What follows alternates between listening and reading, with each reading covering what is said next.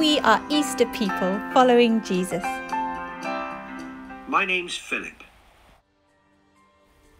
I couldn't believe my ears and I asked Jesus to repeat the question.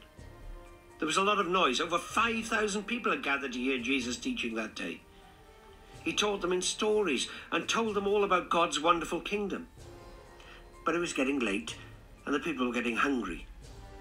Jesus asked the question again. Where are we going to buy food for all these people? We can't possibly buy food for all these people. It would cost a fortune. Don't be absurd. And then Simon Peter came along with a small boy.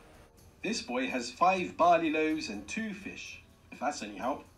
That's just what we need. Make all the people sit down on the lovely green grass. Jesus took the bread and fish. He closed his eyes and said a thank you prayer to God.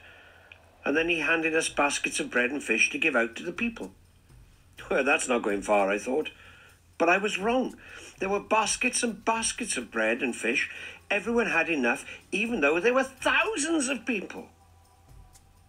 I looked at Jesus with my mouth wide open. He gave me a thumbs up and grinned.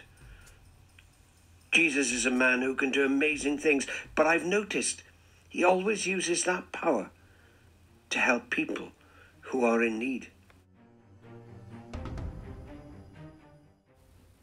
I wonder what you think Jesus talked to that huge crowd about.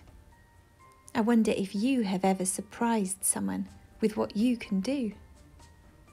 I wonder how it would feel to hear Jesus say to you, Will you help me care for others? Philip is the third of our Easter people. I wonder who will be next.